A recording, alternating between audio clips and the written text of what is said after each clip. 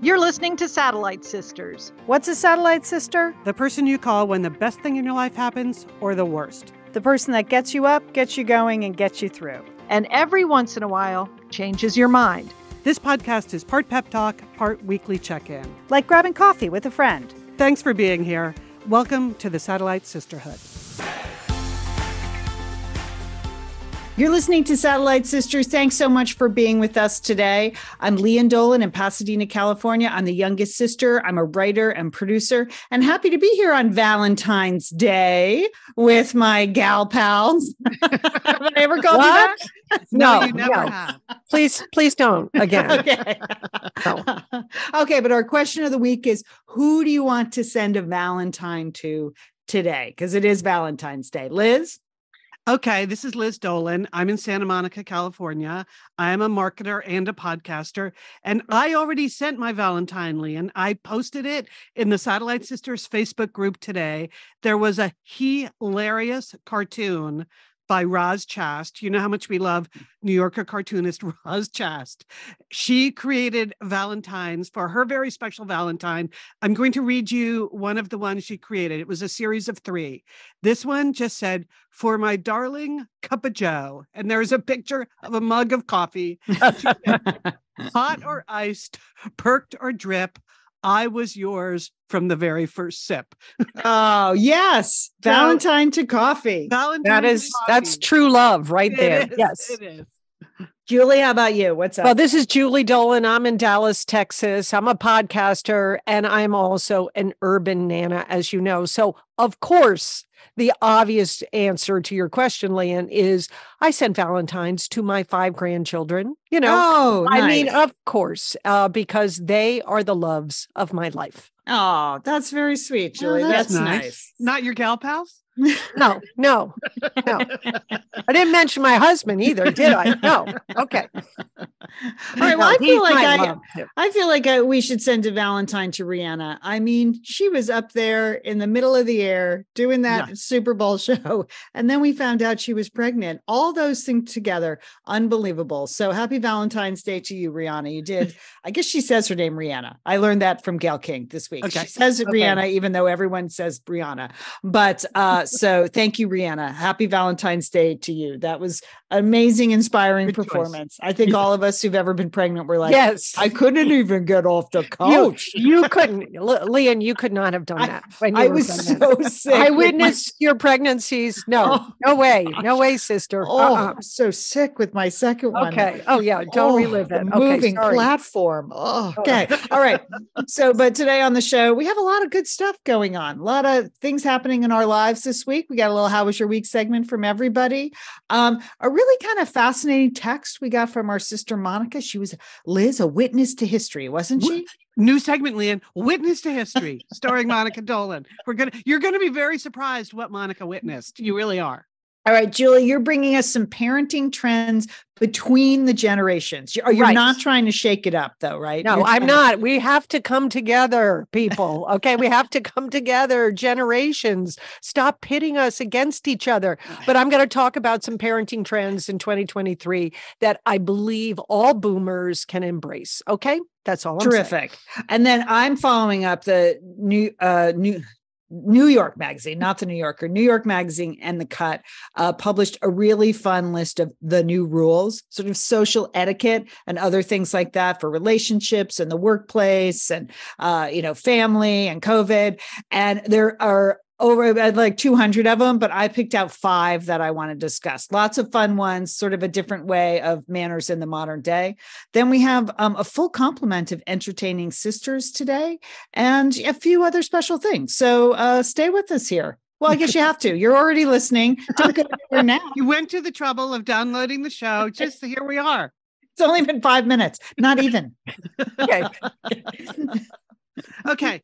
Well, I'm gonna jump right in here with um someone who just surprisingly has been very much in the news lately. Who would have thought that it would be Ben Affleck's moment, you know? But I think Ben Affleck, especially since the Grammys, totally having a moment. So I'm just going to call this Good Ben, Bad Ben. Mm. Um, okay, Good Ben. Uh, over the weekend on the Super Bowl, if you watched the Super Bowl broadcast, I got to say, Ben Affleck's Dunkin' Donuts commercial was hilarious. Just hilarious. He really laid on that Boston accent. He's from Medford, Mass. You Mhm. know, the whole thing. Mhm. Very funny. Did you guys see it? Did you like yes, it? was really wonderful. I it was one of my favorite ads. Yeah. Certainly. it? Yeah, I, you know, my favorite part was J Lo because Yeah. she just went right back to Jenny on the block. Like, is this what you do all day when you say you're at work? I thought that delivery of that line was so funny, and so Yes. I, I, yeah, I love that commercial. I thought it was great. Yeah. And that that commercial also had but you know what we in the marketing business would call a key insight because when she says, you know, bring me a glazed, it's like, yeah, everybody loves loves a glazed donut. So you can have these big stars and you can, you know, but the the real insight about Dunkin' Donuts is delicious donuts. Right. So, so that's what I would say, good Ben. Now, bad Ben, or just what the heck Ben, really, is there was also a trailer for Ben Affleck's new movie, which is called Air. And it's a movie about how Air Jordan came to be. And uh, as it said in the trailer, it's inspired by tr- true events. Okay. Inspired by, I think, being the keywords there. Because a number of the satellite sisters asked in the Facebook group, like, what did I think? Because as many of you know, I worked at Nike for many years. And um, so the who thought up the big idea of the Air Jordan, let's just say there are many versions of that of that story. You know, it turned out pretty well. And so a lot of people claim that they're the one that thought it up. Uh, so this particular movie goes with the story that a guy named Sonny Vaccaro thought it up. Let's just say that is debatable, debatable. Um, but the movie, Ben Affleck plays Nike founder Phil Knight, and Matt Damon plays Sonny Vaccaro. Okay, these are two men I know very, very well. Uh, Phil and Mhm. Sonny, Phil and Yes. Sonny, not Ben and Matt. And I would just say, yeah, Phil and Sonny mm-hmm. should be so lucky to you know, I mean, it's just hilarious to see them, those two guys mm-hmm. who are, you know, totally not ready for prime time most of the time, being being mm-hmm. played by Ben and Matt.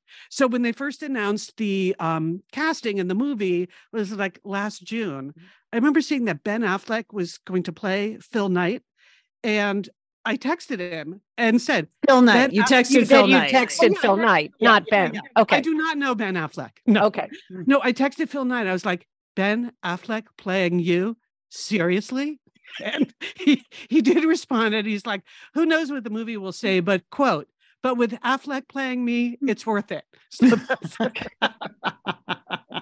and it must be a little bit like Mark Zuckerberg watching the social network. You know, I mean, he always said he didn't watch it, but I'm sure he did. And it must be weird to watch someone play you in a movie, especially what is clearly a highly fictionalized version of of the true story. Hmm. So a lot of people again in the Facebook group thought this might be a movie that comes from Phil's memoir Shoe Dog. Phil Knight wrote a, a best-selling memoir. We even had Phil Knight on Satellite Sisters, right? When Yeah. Dog came out, we interviewed Phil Knight about that book. But this is not that movie. That movie is being made by Netflix and it's being made by Frank, producer Frank Marshall, who has produced many huge, huge movies. Phil Knight and Frank Marshall originally met, believe it or not, on the set of Back to the Future because Nike made all the futuristic shoes for that movie. So they met on the set of Back to the Future and they've been friends ever since. And it's Frank Marshall who is going to make the movie from Shoe Dog. So just wanted to clear that up. So anyway, Ben, I don't know. Ben, ben Affleck having a moment. A- And the trailer makes it look like it's sort of a buddy cop thing. you know? Right. Uh-huh. yeah. Uh, again, I will just characterize the relationship they had. Not quite like that, but it's okay. It's okay. It's a movie. It's a movie. You're gonna you're gonna go see it, no doubt, Liz. Yes.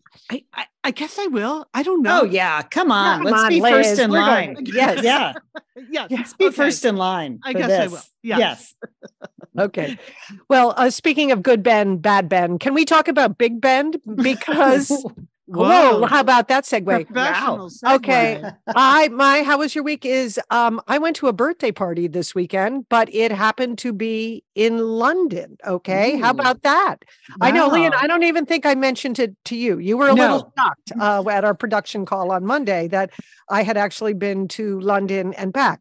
But this was for um, a very good friend that my husband and I have known for many years. We met we met Alexander when he was uh, when we were in Moscow, and he invited us to his 60th birthday party. And uh, you know, you know, part of my theme this year is to relax and enjoy. And we just felt like we should go celebrate this. We had the opportunity, we had the miles, we we were we were there. That's what we decided to do. And Alexander is a very interesting person. He grew up in Georgia, not the state of Georgia, but the country of Georgia. And he grew up under the Soviet system. Um, and that he learned a lot of English initially from rock and roll, which um, I always find so interesting Yeah. had a lot of people that lived in the Soviet Union. That's you know uh, that's who you know th- how they learned it. He loves Frank Zappa. He's a giant Frank Zappa fan. He knows everything about that. But he is part of the first generation of entrepreneurs to bring sort of Western business you know styles and capital capitalistic practices to Russia, and but he decided that he really wanted to celebrate his birthday with his friends. And as you can imagine, he has very diverse friends from all sorts of countries all over the world. Um, but he felt it was, you know, at his birthday party, um, which was an absolutely lovely event and, you know, a wonderful dinner, and there were toasts. And of course, there was a big dance band because he likes to dance. And so he and his wife, Marina, we, we had a lot of fun doing that. But he made at the beginning a very nice toast, thanking everyone for coming to his party because he said that, you know, people have endured so much recently, both with the pandemic and he, of course, is feeling just, you know, uh, just so opposed to uh, the Russian invasion of Ukraine and that he was you know one of the people in the world that was actually trying to build ties with Russia to make it you know sort of join more of the western approach to life and that you know all of that is over now. So he he felt like it was even more important to to step back and to really you know be thankful for his birthday and for his friends.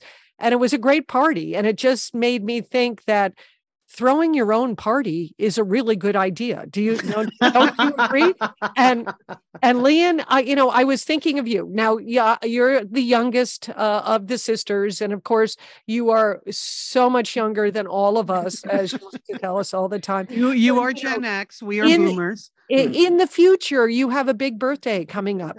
Do you think that this would? I, I think you should start now to plan to throw a really um, wonderful birthday for yourself and your friends. What do you? I would totally do that for 60. Yes. I Yeah. mean, it's a couple of years off. Uh, but um, but I, I I would do that for a variety of reasons. So yes, I'm I'm I'm interested in this. I'm interested in your thoughts on on this. Yeah, I mean, well, this is, I think, you know, it's a great idea. I did a little research. I don't know, checked with Miss Manners, Emily Post, and another website called etiquettehell.com. And and all three of the, these apparent etiquette um, sites, they said it's really rude to throw your own birthday party because you are it, the party is focused on you rather than on your guests. Now, I, I I mean I'm not uh, you know I'm not asking people to like come to my birthday a potluck and give me gifts. I would, you know I think I, I mean I, I'm not sure that's so great, but I think like if you are hosting your own party and you are like hosting your guests in a very special way, I I just think we're at a point in our lives and in the time in our lives that having those kind of celebrations are really important. What do you think, Liz? Yeah, yeah. No, I agree. It's it seemed the way you describe it, it's just such a nice way to say thank you and I love you to mm. all of your friends and family. Mm. And I think we we think about that differently now than we did in the before times, you know? Mm. And so, yeah, I it is a lot of work throwing the party though, but Lian, I know you would enjoy throwing your own party. Yeah, I, yes. just the way you wanted it, sister. Right? I mean, Right. I mean, I'm not, yes, I wouldn't do it because I'm a control freak. I just, as Liz said, I think it would be a nice celebration. And I, I always get, I am not a big birthday person, as you know. I always get super self conscious when people throw things for me or host me Mm-hmm. Mhm. for dinner, like for my birthday. I mean, I have a group of friends, we do a birthday you know dinner thing and it's good it's a small group but one's enough like i don't need multiple parties i don't need many things i don't really Mhm. love a lot of gifts I'm, I'm just not a big birthday person so but 60 i feel like okay fine will also mark for me five years of cancer free Cancer free. yes. so I for mean- me it's a sort of a double it's a real celebration so yes, that's it. It is. Sort of- Lian, it just super- dawned on me that your birthday is this week. it is this week because you see i didn't even i'm I didn't even remember that. Now I'm looking Okay. at the date. Yeah. Okay. You're a February girl. Okay that's right. I, I think i got something in the mail to you. But i do this was a just a lovely lovely party. It was so meaningful. And you know i i we felt very honored to be there. And so i in this one case i just have to totally disagree Right. with Miss manners emily post and whoever is behind etiquettehell.com because i think i think they're wrong on this Uh, I think yeah, we need to modernize the rules about this. I'm with you, Julie. yes All right. Well, we're talking about the new rules later, some more modern manners. So you, you and it's a good spot for you, Julie. You can say whatever you want. Voice your opinion on many new rules. So Oh, good, uh, good. that's good. Well, this week I had a fun business meeting with our niece Fiona Dolan. So so Fiona has been on the show. You know, I have a long relationship with Fiona. She's 23 now, living in New York. Um, she is uh she's transitioning from one side of marketing and advertising to another. So she she has some free time. She has some availability to do some freelance marketing for me. And I am in need of that because in August or in April, just a couple months, the paperback version of Lost and Found in Paris is coming out. Oh, So, exciting. Yes, it is exciting. April 18th. So, hello, book clubs. Uh, if you're looking for a book for 2023, the paperback comes out then. Um, you know, you normally with publishers, they don't do a ton of marketing for your paperback unless you've had like, unless you've been a giant bestseller for like 20 years and then they, then they'll spend some money. But usually they do something, a little light marketing. But my publisher this year has been on strike for the last couple of months. It's been a tough business position for everybody involved. It looks like they've come to an agreement there at HarperCollins, which is great. But we basically got the notice that the authors that have books coming out this spring, you're sort of on your own because right now we don't have people to do anything and nothing's in the pipeline. Okie doke, fine. You know, call Fiona Dolan. And so Fiona read Lost and Found in Paris over Christmas. And she texted me, like, oh my gosh, I love this. This is so fun. I couldn't put it down. And then she told me, she said, you should be on TikTok, you know, because it's right now, it's really trendy for people my age to read actual books. Okay, mark that down. trend. Woo, Talk about a one. marketing insight, Liz. yeah. Boom. That went on. I was like, okay, well, stay tuned. So I set up a call with Fiona. Hey, I would like you to handle. I'm not on TikTok and I don't really want to be, uh, mainly because of national security issues. But sure, okay, if it's going to help me launch this paperback, I'll compromise my standards. And Okay. um, Good work, Lee. so, uh, so we set a time and we did some pre-meeting emailing. I sent her a whole here's here's the stuff you have to prep. Here's what I've got. Here's everything you need to know about the book. Here's you know all my social media accounts. She sent me some I you know some pre-meeting things like here's some authors you should check out. I mean, Fiona is a businesswoman, Liz. She's Mhm. and Julie. You know she's been in charge of her own life since she was like five years old, right? Yes. She has Yes. just been on it. She, Yeah.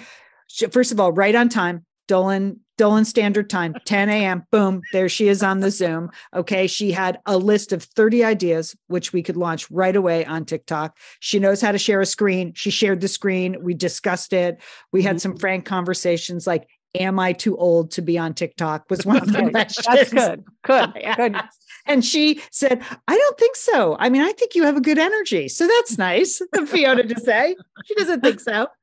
Uh, we we discussed you know okay let's do a calendar let's do this let's set up google docs okay we'll exchange information. I this is a paid gig so i was like here's the fee let me know if you think that's enough. It's for 12 weeks and then we can talk about a fee after that. And then she said the words liz okay well i'm going to do a consult on this Ooh. because she Oh. has of course she has a friend who has her own social media company and Mhm. of course it's her friend sam from high school who we know so yes. Oh, we know Sam. so she's going to do a consult with Sam.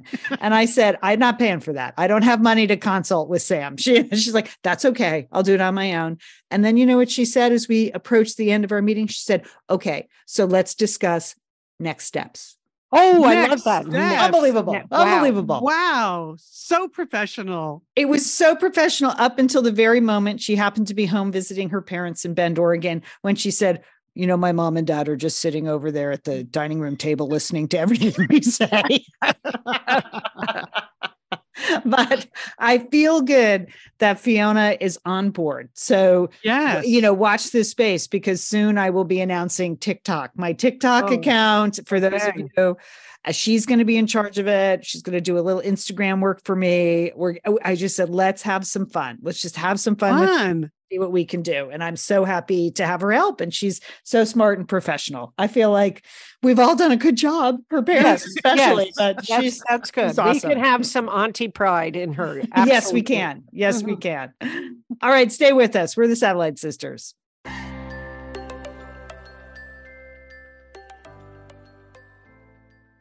Liz, I understand you had a complete butcher box weekend this weekend. Explain what happened to the Satellite Sisterhood. Butcher Box Bonanza, Lian. I don't know. Friday afternoon, feeling ambitious, realized I had a frozen boneless leg of lamb in my freezer from Butcher Box that I ordered before the holidays. And I was just in the mood to do it. So I defrosted it. Saturday, I cooked it following the complete instructions from the Butcher Box chef on the Butcher Box YouTube channel. I did exactly what he told me. It was delicious for dinner Saturday. Sunday, what did I have? Lamb sandwiches for the Super Bowl, Lian. Unbelievable. Bonanza, Butcher Box Bonanza. That's the thing. It's just super convenient to have all that high quality beef, seafood, chicken, lamb right in your freezer. It just makes meal planning so easy. Like Yeah. you know you have something great in your freezer all the time. It's why we love Butcher Box. You can enjoy a range of high quality cuts that may be hard to come by at the grocery store at an amazing value. You get these great member deals so you can save big on your favorite cups. You get those recipe inspirations. You go to the YouTube, Yes. you go to the website, you're getting guides, tips, hacks, Liz. You're going to get some hacks over there at Butcher Box. You're in Butcher Box's world, and I enjoyed it. I know. It's great. I, I absolutely love my subscription. I've had it for four years now. I, I always am happy when the box comes, and I'm always happy knowing that there's dinner in the freezer. So thank you, Butcher Box. If you want in on this kind of Butcher Box world that we're describing, we have a great offer for our listeners this week. I think it's their best deal yet. 100% grass-fed chuck roast and a whole organic chicken free when you join, plus an additional $20 off your first box. Sign up today at butcherbox.com slash sisters and use code sisters to get a 100% grass-fed chuck roast and a whole chicken free in your first box, plus $20 off your box. That's butcherbox.com slash sisters and use code sisters to get this special deal. Thanks, ButcherBox.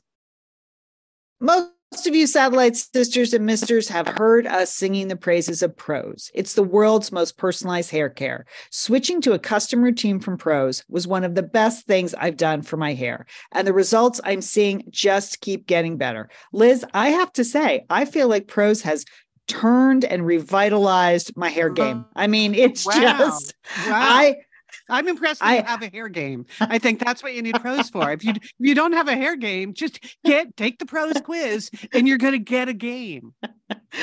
well, I do I do think it was one of my best features. I'll say it. You know, I have short legs. I there's a million things that I look at and go, not Yeah. the best, but I, I did get some good hair, but Yes, it was starting to not look great. So I have to Uh-huh. admit, I was starting to just be a little frustrated by where's the shine, where's the smoothness, where's the body, and Yeah. it was gone. So I recommitted to Prose. I'm fully Prose you know infiltrated like i'm taking the hair vitamins i'm doing the preconditioner i'm using the shampoo i'm using the conditioner it's so dry here and i am a swimmer so i have leave-in conditioner as well I, i'm just i'm fully immersed in the Prose game and people are noticing yesterday i had to do a book club I had to blow dry my hair in the middle of the day. That's hard for me to do, but I did it. And people are like, oh, your hair is really great. I was like, it's Prose. That's constantly It's not your blow drying. and then. I have to say to people, P R O S E dot com slash sisters. That's right. This is what you do. So, Satellite Sisters, if you want to up your hair game, go ahead. Liz mentioned that quiz you take. That's free. It's an analysis. And then they, you know, create a shampoo and conditioner just for you. It's so special. It has your name on it, which, you know, I love because I'm the youngest of eight children and I like anything with my name on it and not my big sister's name on it. All right. So here's what you do if you want great looking hair. Prose is the healthy hair regimen with your name all over it. Take your free in depth hair consultation and get 15% off your first order today. Go to prose.com slash sisters. And Prose is spelled P R O S E dot com slash sisters for your free in depth hair consultation and 15% off. Thanks, Prose. Okay, people, it's time for a brand new segment. You teased it at the top. Oh, wow. Witness to history. Yeah. You need some uh, some musical intro for this, Liz. yeah, it's too expensive to get the music, Julie. We have no music rights anymore. Okay. it's okay, true. so here we go. Witness to history. This is actually about and by our sister Monica Dolan, Mm. who many of you know is a nurse, has been went to Georgetown Nursing School and has served in various nursing roles throughout her entire career. Well, she's late last night she sent Lian and I a text that contained the obituary from the New York Times of Dr. Dennis O'Leary. Uh, he died, and many of you of a certain age may remember that name vaguely because when President Reagan was shot, Dr. Dennis O'Leary was his doctor and was also the doctor who did all of the press briefings and became very famous at the time. So, um, so Monica sent this to us and said, R.I.P. Dr. O'Leary. And at the very end of this obit, they talk about how they were, Dr. O'Leary briefed the media that President Reagan was out of the operating room and he would be moved into what he called the VIP suite. And this was at George Washington University Hospital. So, Monica, at the time, she was a senior in college. She went to Georgetown Nursing School, but she was working at George Washington University Hospital as a nursing assistant. And as it happened, she was working on the floor three South, where this alleged VIP mm-hmm. suite was. But because there was really no VIP suite, they had to very quickly create one. So in the text last night, she said, I helped transfer 18 patients on one shift while the president was in recovery. They repainted all the rooms and went around and got all the best furniture and rugs from the university offices to redecorate in 24 hours. One room was for cabinet meetings and joint chiefs. Mm. What a unique thing to witness. How about that? She was there. She was, she was a, a college senior. So I remember her telling us about that at the time and how crazy it was. And then she said at the end, we got a letter of thanks and a big jar of jelly beans from President Reagan and Nancy Reagan's. Right. That was she was to history. okay. It's pretty amazing. That it is, is amazing. Yes. It, it- yeah, it was amazing at the time and it's amazing now. Yeah. Yeah. no, it was an interesting obituary to read about uh, that. I I was in high school, so I have just some I mean, I, I remember it, but I I don't remember the the briefings. But it was interesting to hear him say like he had never been in front of a camera camera he was Yeah. really just the doctor. That was the floor he was in charge of. So that's why he ended up there. And Monica happened to work on that floor. And um, and uh, he said most of the information I gave uh, the press was true. so, but yeah, she was there. She was Yeah, there. she That's was kind of crazy. But Yep. it certainly was a very scary and confusing time. And uh, there was Monica right in the heart of it. It's amazing. In the thick of it. Witness to Mhm. history. If anyone has any other good witness to history stories you'd like to share with us, you can post those in the Facebook group. It's always Oh, Liz, opening it up. I like Yeah, it. hey, Yeah, do not? it. It's sort of the Forrest Gump quality of you were really there for something. So, okay, thank you, Monica, for uh, sharing that with us and um, and saying it was okay to share it on the show. Okay, now I'm going into a little bit of a bitter business bureau. I have two business notes, both of them related to entertainment products, but it just again, it just sometimes you're just bitter about what's really going on behind the scenes. So the first one is about there's a brand new book out called Unscripted, uh, which is about what has really been going on behind the scenes with the Redstone family and the and they control uh, Viacom and CBS, those two companies. So you don't need to care about any of that, about the the business side of that. Okay. But Okay.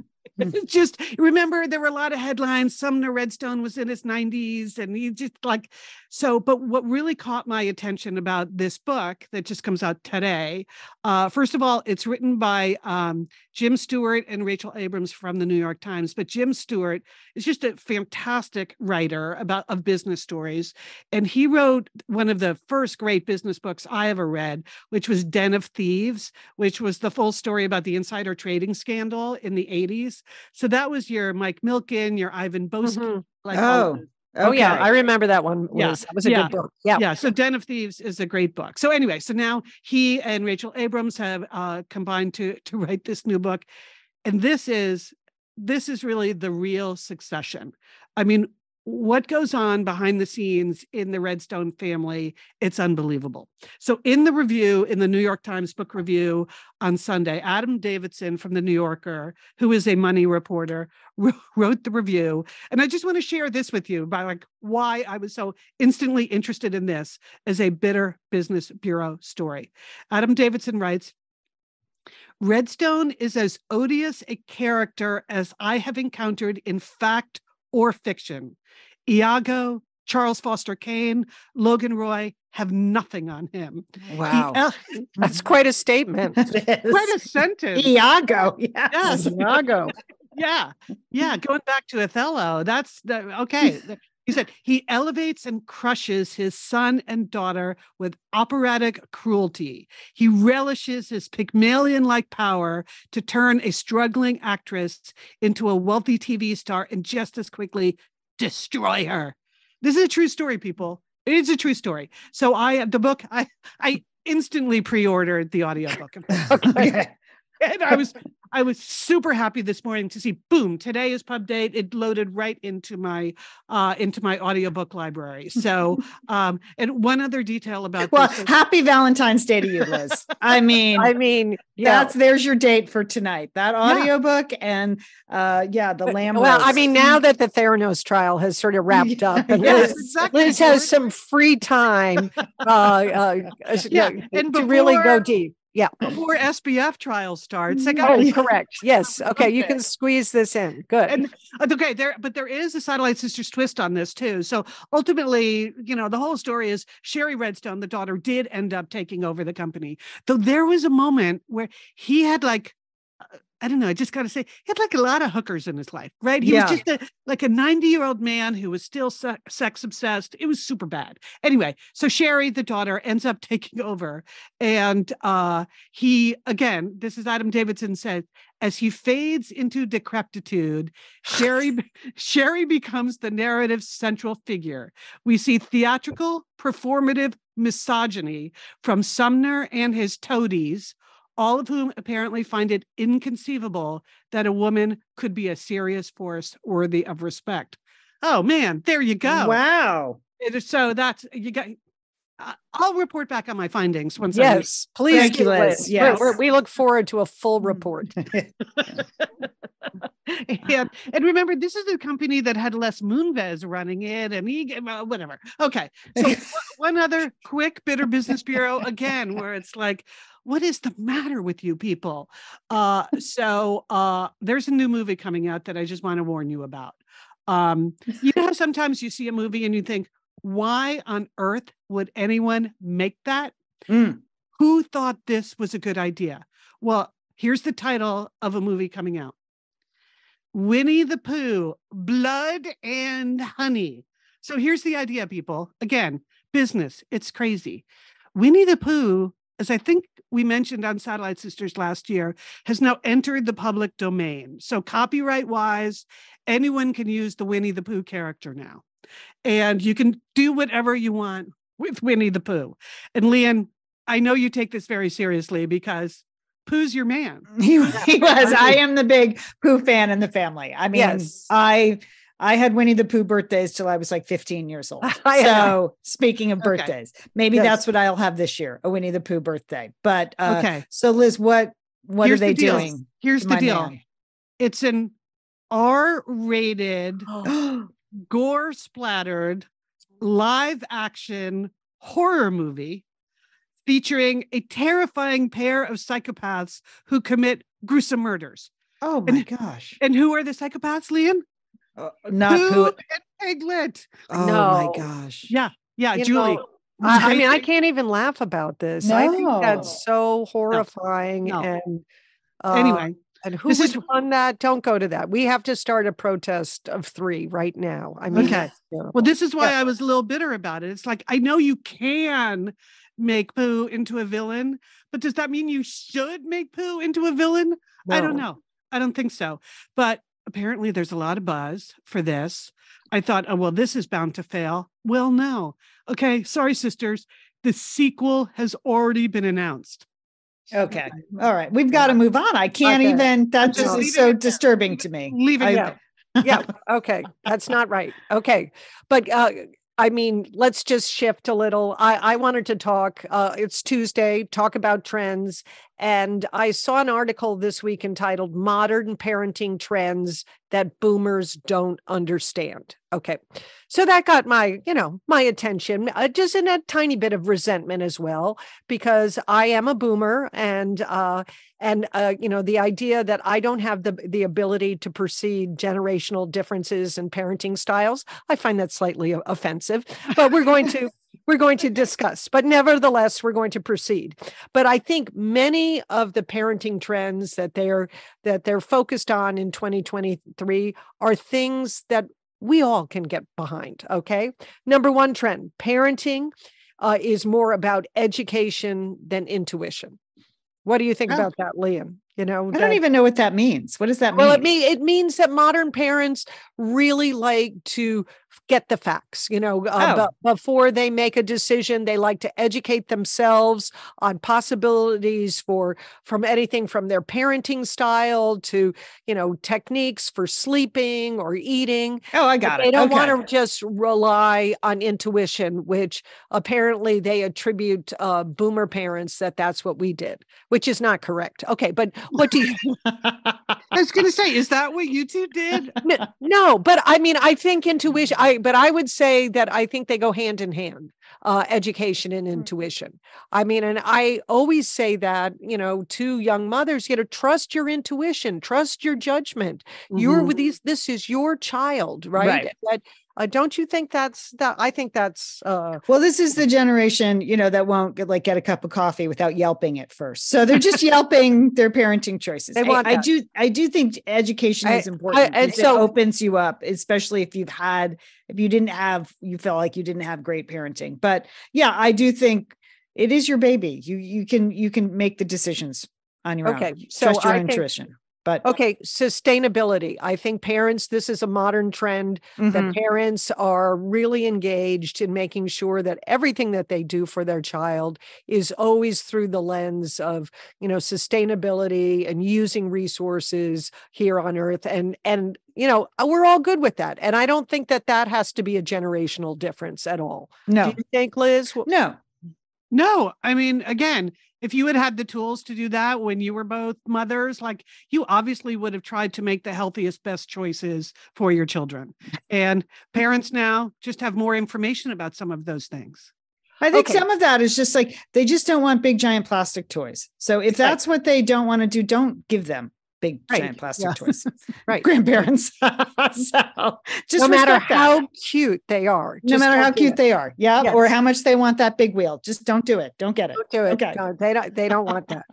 okay, here's something that we didn't have, but is super popular now: gender reveal parties. Hmm. Okay.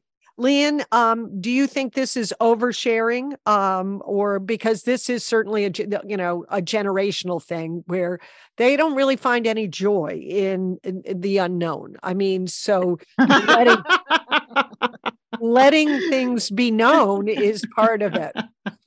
That's probably true. Yeah, I didn't know the sex of my children, so this is a I I chose not to. So uh it was like the only fun thing about pregnancy for me was at least I was going to get a surprise. surprise at the It was end. the, it was the only fun thing. Pretty Aw. much, yeah. Aw. And So she she mean- was not having a Rihanna um, pregnancy at all. So uh yeah, so that um I would uh I, they can I mean people want to party a party. Just don't light the forest on fire with your gender. I, I think, and I would say stay away from balloons uh, Yeah. this week. That uh, they don't. that's true. That seems like a bad thing.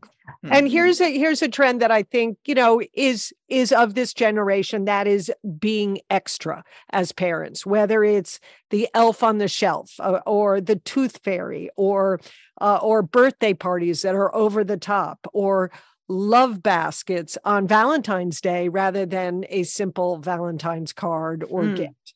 And you know, if you want to be extra with your children, I mean, be extra. Be right? extra. Yeah. Sure. Who, I- who I- better to I- be extra with? Right, Yeah. right.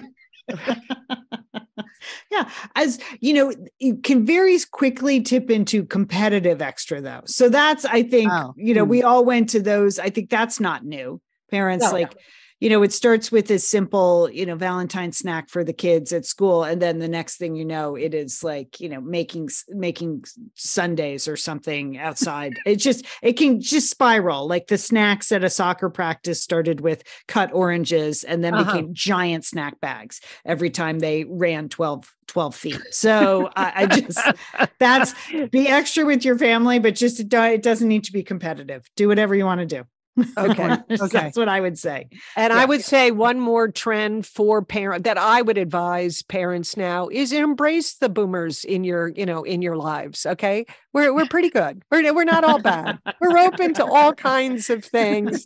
Just give us a shot. Give us a chance. All right, this follows beautifully because this is from uh, the Cut New York Magazine. They posted about two weeks ago about a hun- 200 rules or something, new rules of etiquette, uh, everything from relationships to workplace to um, how to host, ghost, exist in polite society today. So it covers a wide range of things. And I'm not going to read all of them, but we, you know, the link to this fun article will be in the show notes. We will put it in Pep Talk. We will put it on the blog post and I'll put it in the Facebook group. So uh, it's just a fun thing to look out and talk about uh, with the people in your lives. But Liz and Julie, I picked out five of the hundreds that I thought would be fun for us to talk about. Okay. So, Okay. uh, um, and just get your gut check. So, this is what the folks at New York Magazine and the Cut think. And then I'm going to ask you. So, rule number two is you may callously cancel almost any plans up to 2 p.m. At 2 p.m., there's still ample time for your friend, if they choose, to text around and find another dinner companion.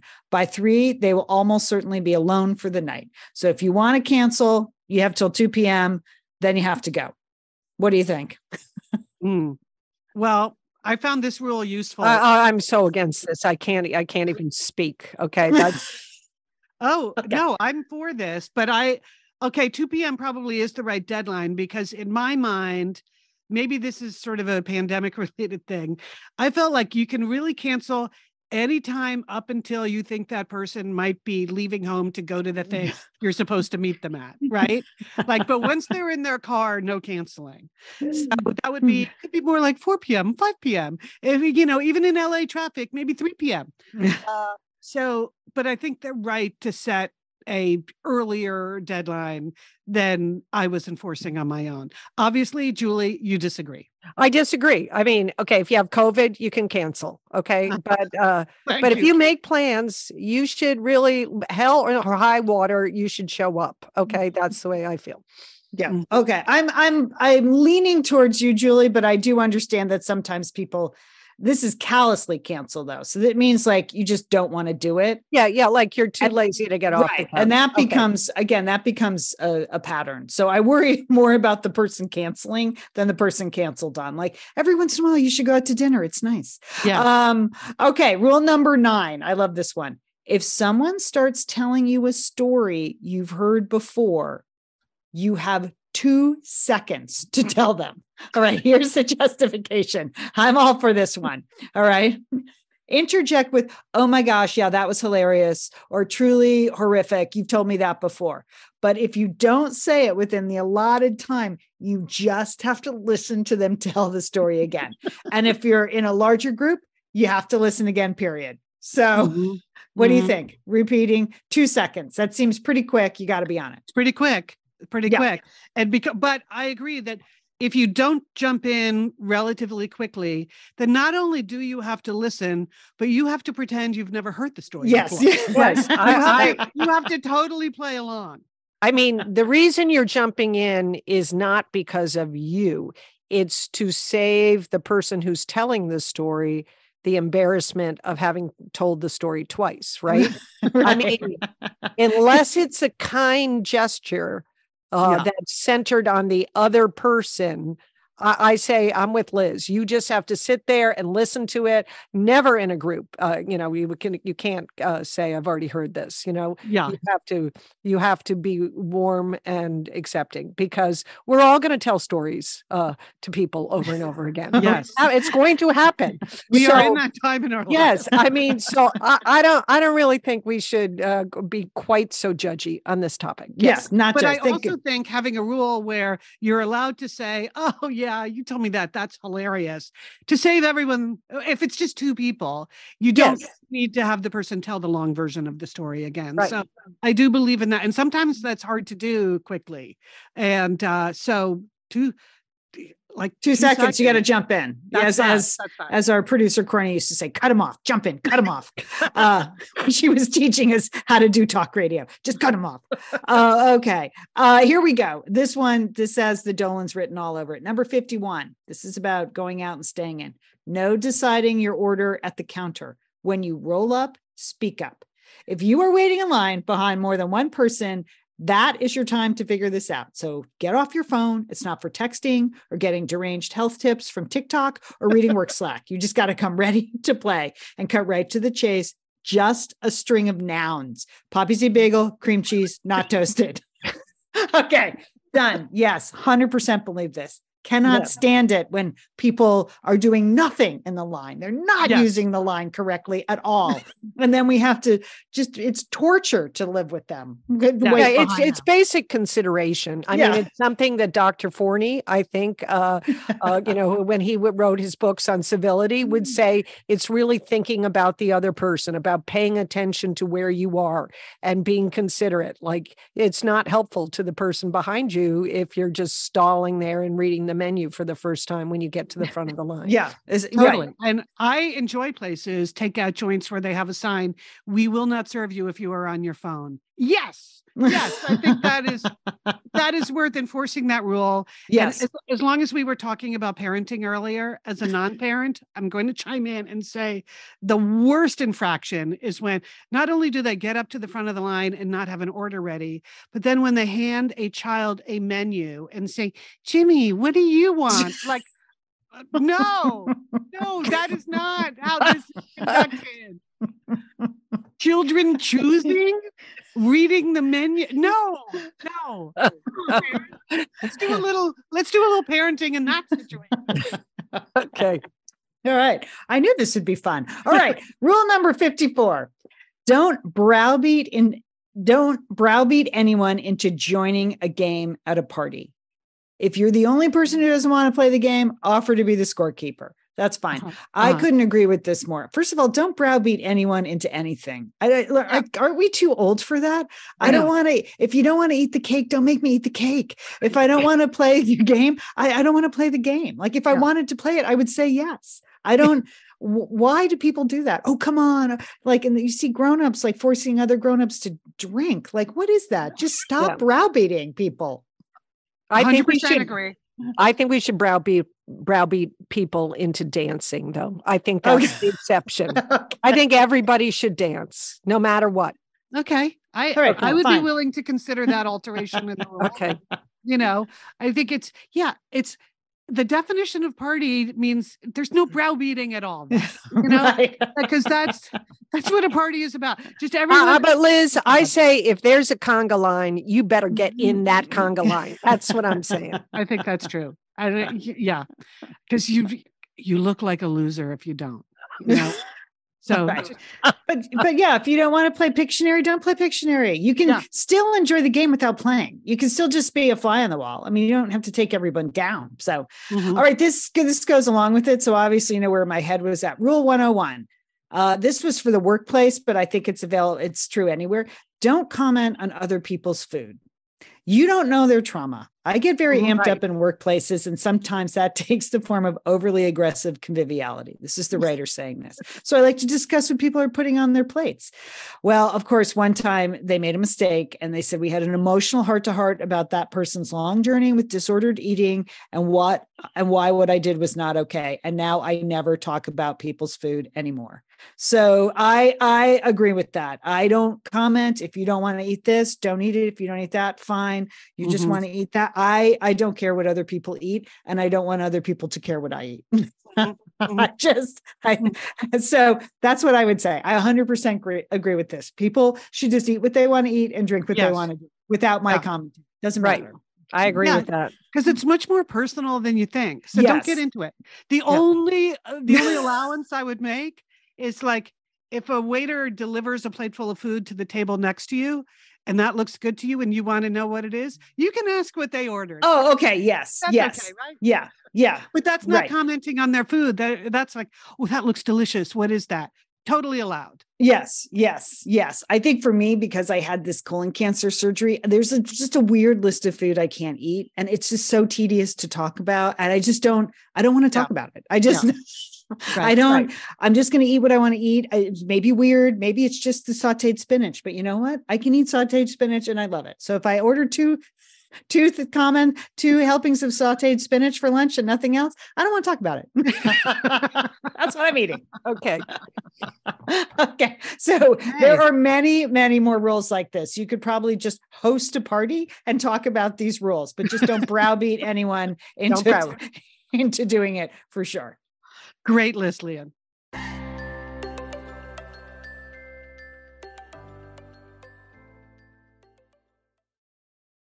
Julie, you have some breaking Rothy's news. I mean, you have some exciting personal on the scene Rothy's uses that you want to tell us about. You you were recently Yes, I do. I have a, vacation. I, What I wanna- happened? I want to testify today, Lian. I want to testify. Okay. You know, I have my cheetah print loafers, Rothy's loafers. Yes. I love them. I took them on my hiking trip to Chile. Mhm. Now, I'm hiking all day in my hiking boots. I cannot tell you how comfortable the Rothy's cheetah print loafers were to put on in the evening. And everyone noticed my snappy shoes. Mhm. But Lian, because I was on a trip and uh, you know packing, they're so good. Rothy's are so good when you're traveling because they're multifunctional. I remembered that they were made of water bottles, right, Lian? So at one point in the hiking trip, I needed water shoes. I didn't bring water shoes, but I had my Rothy's cheetah loafers. So I just put my Rothy's cheetah loafers on and I walked right into Lake Villarrica with them on. Perfect. I think that is so funny. I mean, did that. I did that. People were like, "Oh my gosh, I wish I had a pair of Rothy's," because they thought it was the just the smartest thing they'd ever seen. Yeah, And then and then you could walk out and they're clean and they're quick dry. So you were Yes, probably ready dry. to So they are. So wherever you wherever you go, you need a water shoe. You need an evening shoe. You've got that in your Rothy's. Yes. Okay.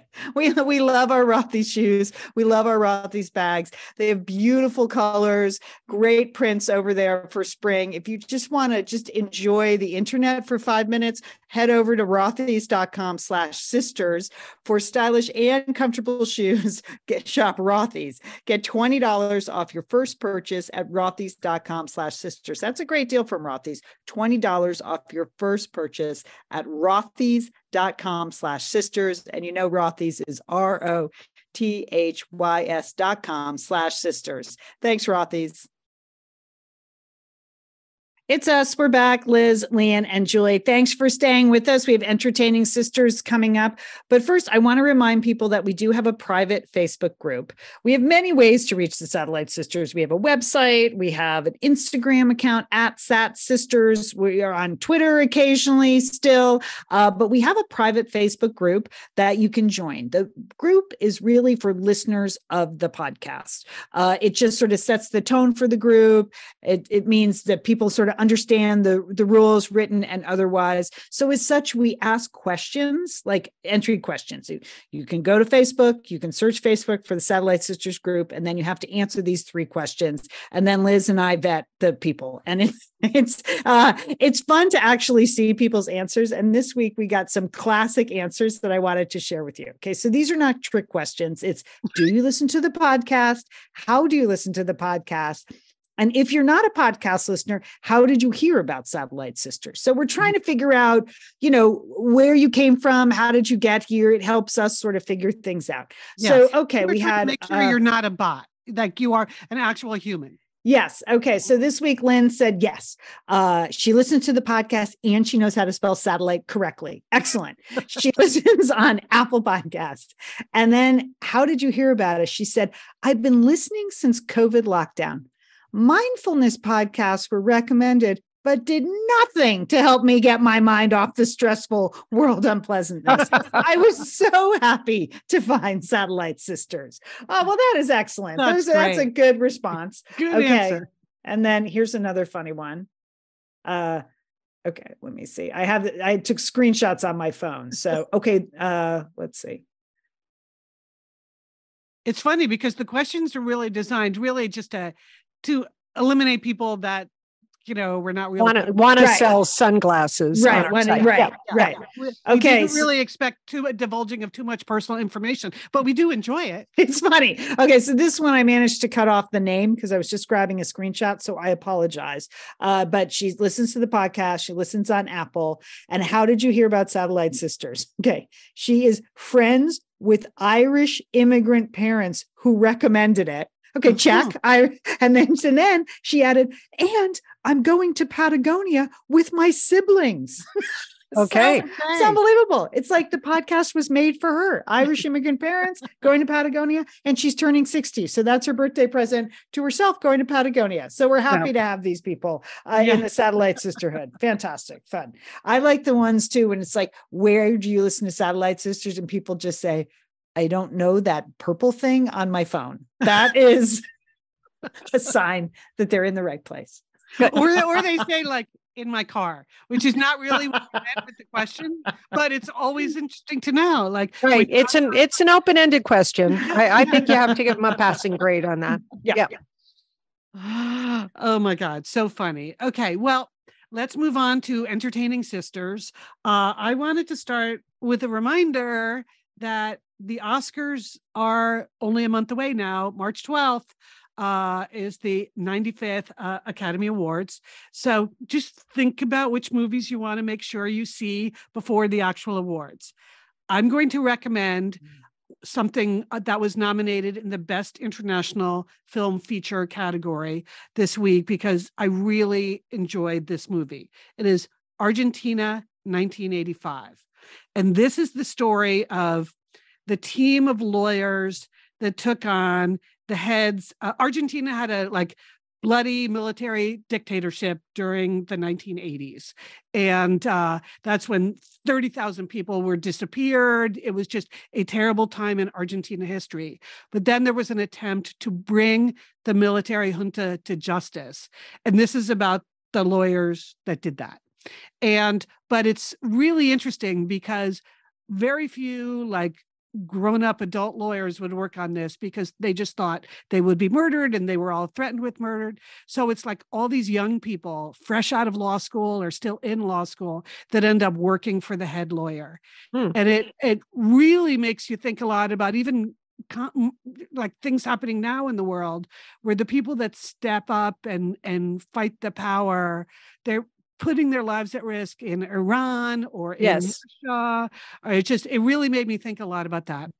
But it also made me think, Julie, about when we were in Argentina. Speaking Right. of On our trip to Patagonia, we went to. Buen- Buenos Aires, yes, Yes. and we took a tour. Yeah, and as part of our tour, we went to the Plaza de Mayo, and every Thursday, the mothers and the grandmothers of the Plaza de Mayo meet there, and these are mothers and grandmothers that are still trying to find out what happened to their children and grandchildren. Oh, I mean, so can you imagine? Can you imagine that your, you know, that your son, your grandson, you know, or you know, a nephew was was just taken, and you have and and never you never got Never any know. information about what happened to that person. Right, What a and you'll terrible see, yeah, it would be. You'll see in the movie that these women they wear white scarves and they hold signs um, with uh, the names of the disappeared, and you still see that in uh, in Buenos Aires. But anyway, this is not about everything that happened to those people.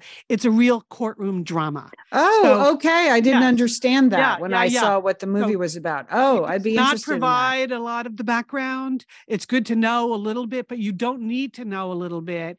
It's just a very exciting courtroom drama with lots of interesting characters in it. So that is my recommendation for this week. Argentina 1985. It's on uh, Amazon Prime Video. Oh, good. Well, Liz has Oscar nominated films to recommend. I have a different category. It's something it's a new feature I'm bringing to Satellite Sisters. I'm calling it B minus movies that have A plus endings. How about that?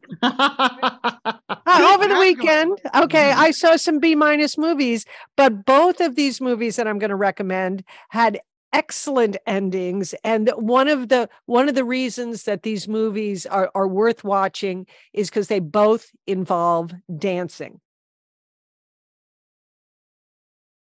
To dance and this is a pretty predictable story about two singletons in LA and they go through a series of bad dates and miss opportunities and it's a B minus movie and it has sort of B minus stars in it. One, the star is Tom Malloy. You may know him from the indie cult favorite movie Gravesend. Have you heard of that movie? No, I haven't heard. but That's sort of what the caliber. But but all I say, you know, is ask me to dance. Just hang on because the last scene in the movie is worth it. This movie can be seen on Hoopla. I have never heard of that as a streaming service, but if you can find it, Ask Me to Dance is there. Also, if you're on American Airlines this month, it's there too. Is that where you saw it? yes, I did. Yes, I did. The second movie I'm going to recommend is on Netflix, so you probably have a better shot with this. And I thought it was charm charming. It's called Rumba Therapy. It's in French with English subtitles, and uh, this is certainly more charming of the two. Uh, but you do have to put up. I'm giving it a B minus grade uh, at the beginning of the movie because you have to put up with a lot of gratuitous French jokes about sex and body parts. Okay, but this is the story of a school bus driver who has a midlife crisis. And as part of that crisis, after the crisis, he decides that he wants to try to reunite with his daughter, who, whom he abandoned at a very young age. So, but his daughter is a dancing instructor. So Oh. he starts taking dancing lessons. And that and that's the story proceeds from there. And that's called Rumba Therapy. It's on Netflix. And again, it's kind of B minus, but hang in there because it has a lovely ending. Ooh, it's a whole new category of Yes. entertaining. So we've got witness to history and B minus movies with A plus endings. We're just just segmenting away this show. All right. Well, I wanted to recommend a twofer. Um, it's both a book and a TV show. So you know, I get a lot of books in advance. Most of the books I read, I read in advance because I have access to something called NetGalley or I get copies because we do so many book lists for Satellite Sisters. And so publishers will send me the books in advance. So sometimes I forget to read books that are just sitting on my nightside table, you know, that I actually buy in the bookstore. I'm just so focused on reading in advance. But this week I picked up a book called Dear Edward that I, I've had for three years on my bedside table. I remember distinctly getting it. It was February 2020, right before the pandemic. And the book is about um, the sole survivor of a plane crash. So it's about a 12 year old boy who was the sole survivor of the plane crash. And I think once the pandemic started, I just felt like, I don't really need this book. It's not going to be uplifting, but it's a new TV show and I really wanted to see the TV show. So I read the book first. Okay. The book is amazing. It's by Ann Napolitano. It is a beautiful book about love and grief and loss and people's stories and lives. It does center around a 12 year old boy that loses his whole family in a plane crash, but he survives and he goes to live with his aunt and uncle. But you also, throughout the brilliantly written and structured book, you get to know all the other people on the plane as well and their stories end up aiding his recovery. Mm. So it's just really well done and beautiful and was a, a, top, you know, a top book uh, when it came out, but I'm just getting to it. So I wanted to tip people off. So then I went to watch the TV show, which is written by Jason Katims. Now I love his work. He was a writer on Friday Night Lights and on Parenthood. Friday Night oh. Lights is probably my favorite drama of all time. So, and it stars Connie Britton from Friday Night Lights. I thought I'm in on this, but I want to read the book first. So I can tell you, I've watched the first two episodes of the TV show. Equally as sad and sob filled as the book. Oh my gosh. okay. Now they have done different things with the TV show, and I totally trust Jason Katims. So I am with him. You have the main character still, the 12 year old boy and his family, but in the TV show, they changed all the people on the plane. Oh, kind of interesting. So first I was like, I don't remember that character. I don't remember that character. And then I realized what was happening. So it's if even if you read the book, this is sort of a new story because they've changed the people on the plane, but it's well done. So uh, I would say this: this is both are sob fests. Both are sad. if you don't like to fly, do not read the book or watch okay. or watch the movie. Uh, okay. Uh, you know, but it's a particularly tender look at sibling loss because oh. it's so that's in the book the 12 year old boy loses his 15 year old brother and his parents but it's the brother that he's just he was like that's the one i was supposed to go grow old with and his aunt loses her sister so that's that's where the the really like powerful stuff about mm-hmm. loss comes in so mm-hmm. dear edward uh, you know beautiful book beautiful tv show the tv show is on apple plus and okay. you know what i haven't seen a bad thing over there on apple plus I mean, they keep turning out some great stuff. You know what? I agree with you, Lian. They yeah. don't do a lot. It's not right. a volume play. What, but what they do have, I've liked everything over there. Yeah, I, I really, yeah, that's, that's I, a good direction to go if you don't yeah, know what, what right. If, if, you're looking yeah. which streaming service, I mean, I don't know. I think it's very, very good, high quality writing and acting and directing over there. So, dear Edward. Okay. Uh, you know what? I'm just finishing, Lian. I'm about three quarters of the way through the audiobook of Tomorrow and Tomorrow and Tomorrow, which you oh. recommended. If you, I am loving that. Okay, so good. Yeah, so great. Julie, have you read that? No, I haven't. It's on my list. I know Lian recommended it, and several uh, listeners in our Facebook group have said they've read it and liked it. So I'm really great. And about yeah. such an unusual subject matter, sort of inside the world of video games. I was like, mm-hmm. am I really going to care about this? But it's fantastic. Mm-hmm. Uh, okay. Then, on a much lighter note, from the sob fest of Dear Edward, I just like, what could be better than the fact that yesterday, Tina Fey and Amy Poehler announced that they are going on a comedy tour together. Oh, Yay! I can't wait. That is great. That's a hot a, ticket. That's that a hot is, ticket. Yep, should be a national holiday for uh, the Satellite Sisterhood. That they, and they're calling it. I love this. They're calling it the Restless Leg Tour. So you know what you're in for. Funny, in for. very funny. They said they are going to celebrate 30 years of friendship with an evening of jokes, iconic stories, and conversational entertainment. Oh, oh. that is a hot ticket. I want to go to that. Yeah. Cannot go wrong. And then then they said in the press release, this made me laugh because yesterday we were having a meeting about something we're planning. And they said, if this tour goes right, we can finally end this friendship. And there, yeah, there is something about traveling together. So so so far they've only announced four dates: DC, Chicago, Boston, and Atlantic City. I'm pretty sure there's going to be more than that though. And the first one is April 28th in DC. Anyway, Restless Leg. This is like you cannot go wrong with this. right. Mm. Yeah. Just, just just get on board with the Restless Leg tour, people. get on board. The only, there's there's only one problem. Ticketmaster. Oh, all right. Anyway, but anyway, get on board anyway. All right, that's our show for today. A big thanks to Sergio Enriquez. Thank you, Sergio, our engineer, and thanks to Emily Loudermilk, who does the show graphics that you can see in Pep Talk and at Sat Sisters. Thanks to all of you who support our sponsors. It's super duper important. It allows us to do the show for real. So we want to thank you if you've been supporting them for years. If you're just trying some of our sponsors for the first time, use those URLs and those codes. It makes a huge difference. Uh, our to do list for the week. Jewel, what do you got? Okay, well, remember how yesterday in the production meeting I told you I was so excited because I was going to this Galentine's Day party? Yeah. Uh-huh.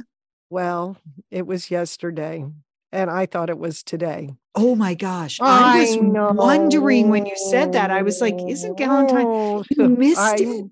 You missed Yes, I had to put it in my calendar on the wrong day. So Oh, Oh, I just, I am, I am so, first of all, embarrassed and ashamed. And then I'm just so disappointed because I wanted to go to my first Galentine's party. I had a Oh. little outfit all planned. Oh, oh Jewel. Oh, so that's that. How did you huh? figure out that you got the wrong date? Uh, Like, because there was um, a lovely uh, group email afterwards uh, where everyone was thanking our wonderful host for a wonderful Galentine's Day party. Yeah. Oh. you know, it's funny when you said that yesterday. I thought, well, that's surprising. They would have a Galentine's Day party on Valentine's Day. Yeah.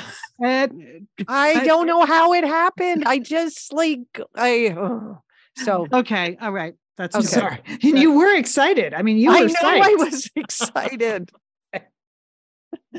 All right.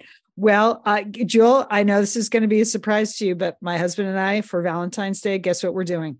We're going golfing. We're going to do nine holes later. That's all I'm saying. Nine Wow. holes. Uh, Wow. So there you go. That's our little, that's, we've never done that on Valentine's Day. We've really never done anything on Valentine's Day. I'll be perfectly Okay. honest. So the fact that as he was leaving today, he said, what are you doing today? You want to just go play golf at like four, you know, see if we can get in nine holes? I was like, I'll take it. If you had said, you know, do you, do you- yeah, do you want to go clean up the public park? I would have said, sure, that sounds good. So yeah, golfing. Wow. Love I love it. Lynn. Okay, Very enjoy. nice. You two crazy kids. crazy kids going golfing for Valentine's Day. Well, I am uh, happy to uh, remind everyone that tomorrow, uh, the 15th, is the start of LA Art Week. There's one week a year where there are all kinds of like big art shows, little art shows, opening exhibits all over town in all kinds of facilities. Starts tomorrow. Um, I've really been staying away from like big convention centers full of art because of, you know, lefty is that's a, it's a hard, it's hard on my leg. But I picked out an art opening tomorrow night, the Hammer Museum. It's a nice little museum not far from me. And it's an opening of the drawings of Bridget Riley, who's a um, contemporary painter, but th- these are like her drawings and things. Anyway, I'm getting into the swing of LA artworks, Art Week, sisters. All right, So- good. Good, Liz. Okay. you know and then this weekend i've been watching them for a month right next to the dog park where i wa- walk hooper there's that's santa monica airport and they've been putting in this huge installation inside a hangar and also outside that is also part of la art week so it might be that from the dog park we can just take in some art over the weekend so i may be doing that too so LA, LA art week doing the best i can mm-hmm. that's All right. Remember, I'll be at that bookstore in Santa Monica on Sunday, my birthday. Oh We'll- my god we'll that's chat. right Yeah, we'll Yeah, chat. We'll, we'll make a plan. If you, happy birthday to you. oh, thanks. Yes, yeah, yes. thanks. Thanks a lot. no, I mean, thank you. I, I mean that from the bottom of my heart. Do you want to remind people what the name of the bookstore is, Lian, in case any listeners want to turn up? Sure. It's called Zibby's Bookshop, and I'll be there Sunday, February 19th at 11 a.m. It's a new bookstore on Montana Avenue, and um, there will be 40 authors throughout the weekend. So e- even if you can't come Sunday, there's a million authors showing up, signing books, and celebrating um, this new bookstore in Santa Monica. So Liz, we'll we'll touch base. We'll figure out we'll figure I'll out a be there for meetup sure. if, Yep. if you're not busy with the art world. All right, uh, sisters, have a great week. You too. You too, Lian. Happy birthday. thank you. And don't forget, call your satellite sister.